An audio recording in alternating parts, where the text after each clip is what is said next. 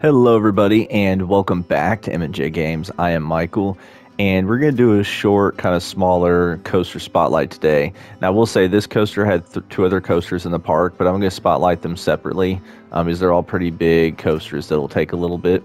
Um, so if you download this park file, there will be two other really cool coasters in it. But look at this insane RMC.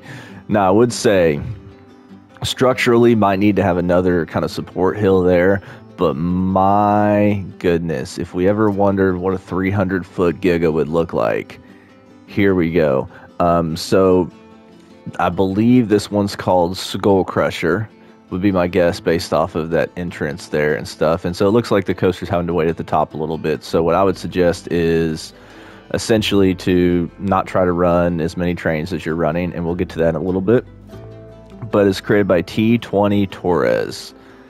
And I mean, look at this as we're gonna see the stall in a second. So I see major Zadra vibes. Are um, you know, uh, oh gosh, I'm, I'm blanking right now, but um, Iron Gwazi vibes with that.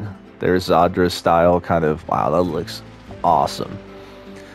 I don't know if RMC could ever build a coaster um, like this is 300 foot for their iBox. I don't know if that'd be possible, but it's still cool to see what it looked like in the game, and this looks phenomenal. So really good cue. I mean, this fencing like kind of gives it that creepy vibe, almost kind of like Wicker Man at Alton Towers a little bit. So we have a little bit of a backstage. Now, none of this is accessible for guests, so this is all just kind of custom uh, walls or custom um, pathing and stuff. And then we head here into the station. Okay, so you've got the opera. Right? Yeah, I don't know what would be right there. Oh, that's just that blank part. Okay, so we got the operator's booth here, and then I wonder. Okay, so that's where the operators can walk out and stuff.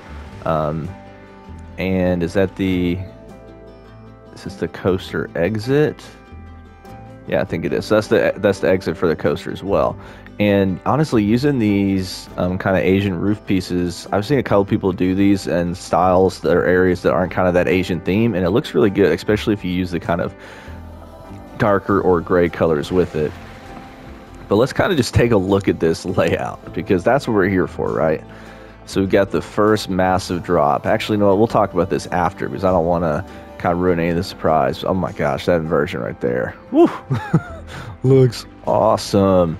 Um, now, I'll be honest, I have not been on this coaster yet. So um, we're going to see if it lives up to my hype and expectations for it. But let's look at these stats real quick. Everything's all green, which is great. Vertical G's, maybe a little bit too high at the 5.29, but overall, I think that's still, as long as it only touches that at one point, I think it's fine. But laterals are good. Max speed 96 miles per hour, 303 feet without any more time wasted, let's go ahead and ride on the coaster.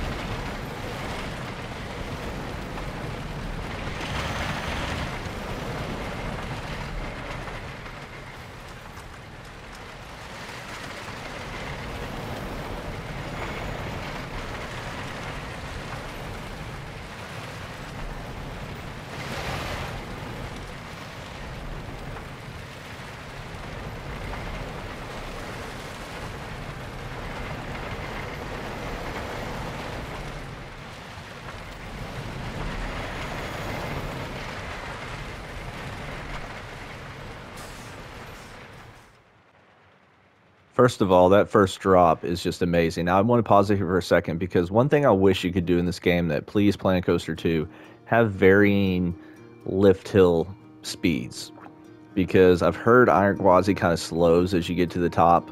Um, you know, same thing with like Fury 325. At least I remember, I think I remember Fury, maybe Orion. One of the two does that a bit. Um, but you see that on some coasters, they'll pick up or slow um, slow down just a bit based on where it's at. So technically, that looks like it's a little bit steeper than 90 degrees. So this would be the steepest RMC drop, and I mean, let's just go through element by element because this coaster was phenomenal. Great speed hill, and that speed hill has to be a little bit bigger because of the size of the first drop. And then you've got your Steel Vengeance, Iron Gwazi, non-inverting turnaround then you got two more speed hills that are really, really quick. And then you've got the Zadra style or Goliath style zero G stall. And then you come around to this really quick turnaround, um, which I like. Like it doesn't necessarily change the height and elevation too much. And then you go out down into that. That's not necessarily a death roll. It would just be, um, would that just be a barrel roll dive? I believe is what that would technically be called. Um, because that's kind of like the half of the version on Storm Chaser and stuff. And then this part here, it's not necessarily a triple up because you do go down, but it's kind of got these elements where you go up three straight times, then you outward bank down into a big drop below the structure. Another kind of quick turnaround. And then this kind of 270 degree inversion, kind of like the one at, um, man, why am I forgetting the name of that now? um, Walibi Holland, Untamed. There you go. So then you got kind of a barrel roll right there.